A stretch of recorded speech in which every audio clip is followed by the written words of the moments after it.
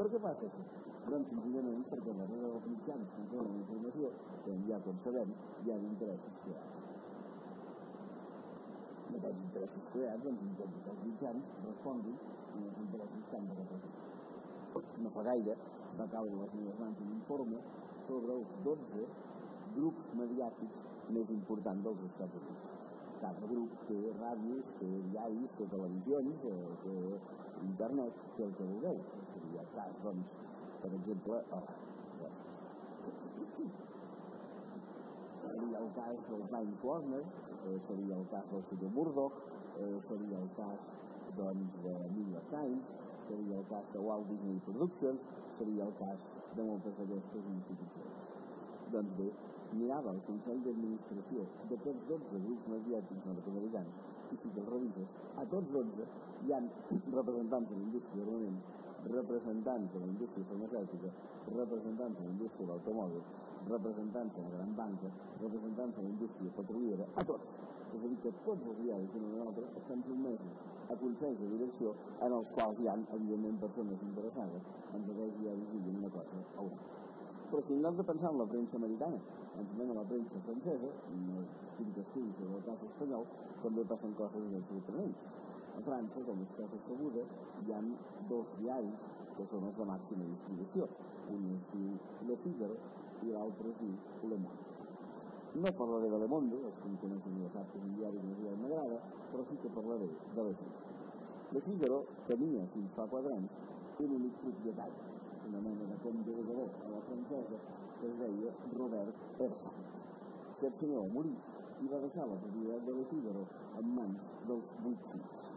Però, com que les herències de vuit fills estaven a ser complicades, els vuit fills han decidit que per estalviar-se mal de cap es quedarien amb un 20% de la propietat del diari en record del pare, es vendrien l'altre 80% i serien caladons amb els quals hi havia Qui va comprar el 80% de la Figaro? Dos accionistes de 40 i 40, és a cap d'ells tindria la majoria. El primer accionista de 40 va resultar ser un industrial francès que es diu Serge, Sergi Dassault, escrit Dassault. Si mires qui és el senyor Serge Dassault, és qui és el primer fabricant francès d'avions de combat i si segueixes llegint la seva biografia et dones compte que aquest senyor té damunt seu una condemna ferma, és a dir, sense possible, de 8 anys de presó a Bèlgica per estafes comeses en aquell país, país que òbviament no trepitja pel que pugui passar. Doncs bé, aquest, diguem-ne, delinqüent, per dir-ho d'una manera suau, es va fer amb el 40% de la filla. Qui va comprar l'altre 40% de la filla? Una empresa financera nord-americana, una empresa d'inversions, que es diu Carlyle, escrit Carlyle. Si mires en detall hi ha darrere de Carlyle, el llegeixes la llista d'accionistes i en llocs principals en trobes un de ben destacat que es diu George Bush i que és pare de l'actual president. Amb la qual ja em direu que poden ser els francesos que s'interessin per la guerra d'Iraq i que qüestionin el la Figaro quan resulta que el seu diari en un 40% és propietat d'un fabricant d'avions de combat i en un altre 40% propietat, ni que sigui indirecta, del pare de la criatura. Bé, resulta que aquesta empresa Carlyle es va vendre, ara no fa gaire temps, va dir que això de París que anava una mica lluny i que no li interessava més tenir accions al diari francès. S'ho va vendre. Automàticament el senyor Dasó va comprar el 40% dels americans, amb la qual ara el senyor Dasó ja és el propietari del 80% de la fibra senyor Gasó, a més el 80% de la Figaro, té 80 anys. Però això no obsta perquè no faci massa temps, que fer uns 10 o 12 anys, que va morir son pare, que era un senyor que havia els 100 anys. I el son pare, el senyor Marcel Gasó, va ser el gran ampliador, el gran expandor, el so, el que va expandir eh, l'empresa, i ja fa bastants anys, concretament fa uns 50 anys, aquest pare, el Marcel Gasó, va fer una aposta per un jove francès en el qual ell va apadrinar. Apadrinar vol dir que li va pagar els estudis, que li va pagar estades a l'estranger, que li va pagar les primeres feines, perquè l'home anés pujant dins de l'escala social francesa amb la condició que després, si pujava de debò, li retornés el favor prestat. Però aquest xicotet va anar progressant a dins de l'escala social francesa i tant va progressar que fins al passat mes de maig vivia al Palau de l'Elisi i es diu Jacques Chirac. Aquestes són una mica les vinculacions que fan que al final la premsa doncs acabi dient determinades coses. Petit parèntesi. El senyor Jacques Chirac ja no viu a l'Elisi, però l'Elisi s'ha ocupat per un nou inquilí que s'anomena Nicolás Sarkozy. Aquest tal Nicolás Sarkozy, pocs dies després d'haver assumit la presidència, va dir que a casa seva, sense demanar permís, només hi podia entrar la senyora, que em penso que ara ja no pot, i eh, els seus fills. I dos amics, en els quals ell considerava germans. Bé, doncs un dels dos amics qualificats de germà per al Sarkozy és un senyor que es diu Arnaud, és a dir, Arnau Lagardère. I si tu mires qui és el senyor Arnaud Lagardère, et dones compte que és el primer fabricant d'armes, no d'avions de combat, sinó d'armes francs. Et dones compte, en segon lloc, que és el propietari de la més gran editorial francesa, que es diu Hachette.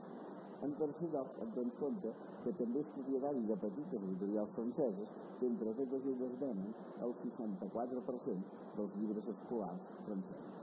I si finalment segueixes llegint, t'enteres que el senyor Lagardère fa tres setmanes es va passar de les 9 de la matí a les 9 del vespre al jutjat de París acusat d'un delicte borsari que es diu delicte d'iniciat que és aquell que et fa comprar o vendre accions que ningú informació privilegiada que no tenen els altres i aleshores guanyar el cas dels diners en funció de la teva posició de privilegi. En la Gardel, que és un dels més importants accionistes d'una de les indústries més grans d'Europa, la indústria que tot coneix aquest famós avió Airbus, havia fet unes declaracions dient que l'empresa anava de meravella, que amb això de l'Airbus es farien d'or i que beneficis a l'or això va crear eufòria i les accions van de mala manera, un moment oportú que va aprofitar la Gardère per vendre totes les que tenia. Al cap d'uns tants mesos, l'altre del Consell d'Administració va dir que la cosa anava tan bé com era de suposar i que potser fins i tot en perdre, en la qual les accions van baixar vertiginosament quan ja la Gardère que les havia venut d'una manera oportuna. Això en borsa se'n diu delicte d'iniciat i si feu una mica de memòria recordeu que el senyor Mariano Rubio va anar a parar a la presó ja fa bastants anys, més o menys per la mateixa Bé, doncs aquests són els personatges que venim avui en dia la premsa francesa. Però deixeu-me fer un petit parèntesi i que estic a França, és un cas que no té res a veure amb el militarisme que avui m'ho portat aquí, però sí que és un tema d'actualitat. Suposo que tots vosaltres coneixeu. Un cas que s'ha popularitzat molt aquests dies del diari i que es l'arca de Soe, que tenia sempre persones que sortien teòricament del xat per anar cap a París. Bé, últimament estem llegint bastantes coses a internet, per tant ho poso entre cometes, perquè internet sempre té una fiabilitat que s'ha de posar amb algun interrogant, però en tot cas les informacions, diverses d'elles coincidents, són ben interessants. Sembla que de Zoe es va crear ja fa bastants anys, no pels nens del xat, sinó per les víctimes del tsunami, la una. Però el que sembla més interessant és que l'Arca de Ser no és altra cosa que una ONG al servei d'un hospital, d'un laboratori d'investigació de París, que es diu París Biotechnology, que es dedica a fer la canalla a sacs de tipus mèdic, de manera que probablement el destí d'aquests 104 nens era servir d'acord amb convivència amb els pares que els adoptaven de conillets índies en aquest hospital París Biotechnology. Però el més interessant del cas és que aquest hospital País Via Tecnologia té un comitè científic que vigila aquestes maniobres de proves mèdiques.